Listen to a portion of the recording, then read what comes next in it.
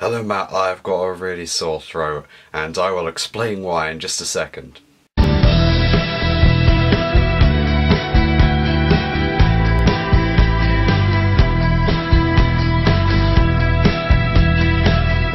Okay, so seeing how I was in America over the last week, I got a lot of cinnamon flavoured sweets, and I believe that the cinnamon in those sweets has made my throat absolutely raw. I mean, it's not sore, but you can definitely hear that there's something wrong with it. So yeah, I'm really sorry about that, Matt.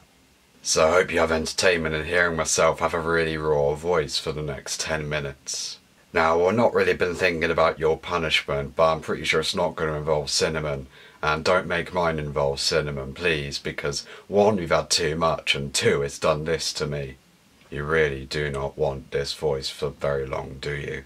So if I was to go on holiday to any other place in the USA, where would it be, you asked? Well, um, that would have to be Los Angeles, home of film and every other thing. Hot desert, thing, scene, beach, yeah, awesome LA. Not a big fan of gambling, so Las Vegas is out. I've already been to Orlando, so there's no real reason to go back. And there's not really anywhere else that I would go. I'm not into the politics, so no Washington DC for me. And you said you went to Virginia. Well, that's not necessarily specific. I know you went somewhere in Virginia, but that's not very specific because that's a state, and states are very massive and vast. They're bigger than the UK, some of them. I mean, New York City's massive, but New York State goes north way further than that. But it would have to be Los Angeles is where I would go on holiday again if I went. However, it's pretty expensive, I know, and I'm probably not going to go there until, I don't know, like maybe I'm 30 at least. And even that's pushing it. Right, so Matt, I wanted to talk a little about American television. Oh, the glories of American television. What I watched on NBC and Fox and ABC and all that jazz. Well, aside from in the morning, they have that inflatable woman outside the Rockefeller Center on The Breakfast Show. Later on in the evening on Fox, there's this show called Beat Shazam. Now, what not Beat Shazam is, well, even I don't really know, but I know it's a quiz show about music hosted by Jamie Foxx. Yes, the star of Django Unchained and Ray, Oscar winner, has been reduced to hosting a quiz show all because of Sleepless. We don't have those kind of quiz show hosts. We have Noel Edmonds and Nick Knowles. But in America, they got so much money poured into their television that they have Oscar winners as their quiz show hosts. However, one could argue Jamie Foxx's hands aren't perfect for building a house. But onto the content of the show itself, all it was was trying to name the piece of the music that was playing.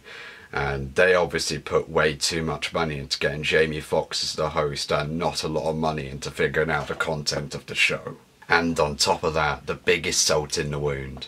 I honestly prefer Nick Knowles as a presenter than Jamie Foxx. So yeah, you can probably tell American television isn't very good.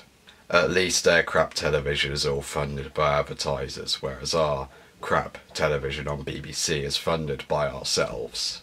But that does lead me on to my question of the vlog, Matt. What do you think is the worst show on television? Now, Beat Shazam has to be on that list for me, uh, but then again, I don't really watch a lot of bad television. The worst television show I've ever seen, there was this weird, really weird spy thing with Richard Hammond that was on like five years ago, maybe even longer. And if I recall, the concept was they tried to frame people, who, well, the kids tried to frame other kids for some stupid thing. If I also remember correctly, the show was axed after two episodes, so everyone agreed with me that that show was complete and utter crap. But then again, I can't remember the name of it, thank God.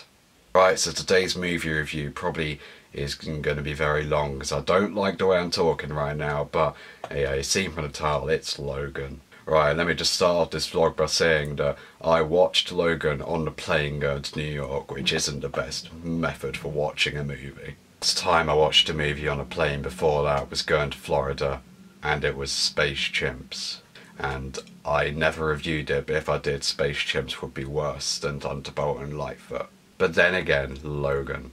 Now, X Men isn't my preferred movie franchise. I haven't actually seen any of the movies, which is a shame. But then again, Hugh Jackman in an interview once said that Logan isn't really um, exclusively aimed for fans of X-Men, so I felt comfortable watching it on the plane in the selection. I wanted to watch in the cinema, but it came it came went off cinemas like way before I could actually get an opportunity to see it. So saw on the plane going to New York, and let me just say, it could be one of the greatest movies I've ever seen, and I'm not even lying. It seriously is that good. Now I'm sure you've seen several reviews out there already about Logan being one of the best superhero movies ever.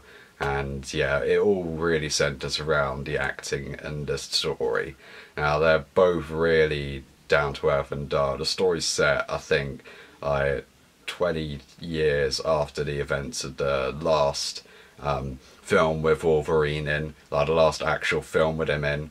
Um, and it's basically him who's not really been a superhero for ages, still got his powers, but he doesn't really know how to use them anymore. He's caring for Professor X, but they find there's a plot to um, defeat them, and there's a new band of mutants, um, one of which is a young girl, um, and Logan, uh, slash Wolverine, and uh, Professor X have to basically get her to a retreat uh, to save all the other young mutants uh, from being killed by these um, villains. So the story is pretty standard, but what it's made up for is the performances. Yeah.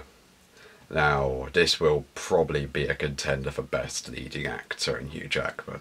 The emotion he gets across, the fact that he's a fallen warrior, and yeah, he really gets across performance. That's really, really good. And that's all I can really say. It's just really good. No complaints about his performance at all.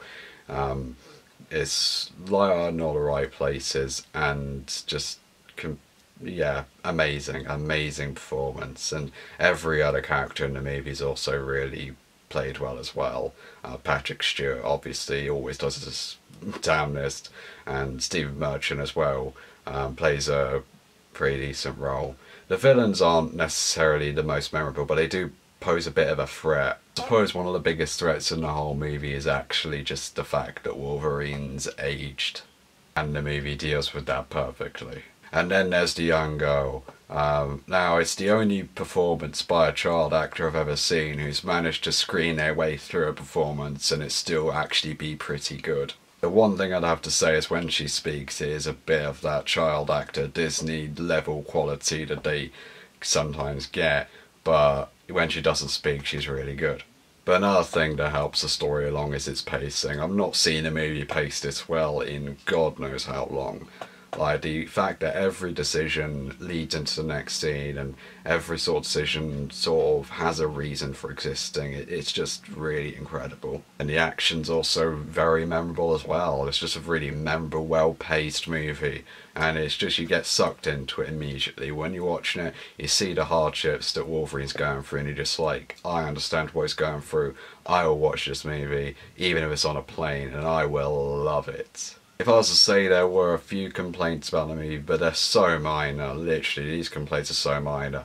Uh, there's a scene that happens about two thirds, three quarters of the way through the film that's really pivotal, but I feel it maybe could have been handled a little bit better.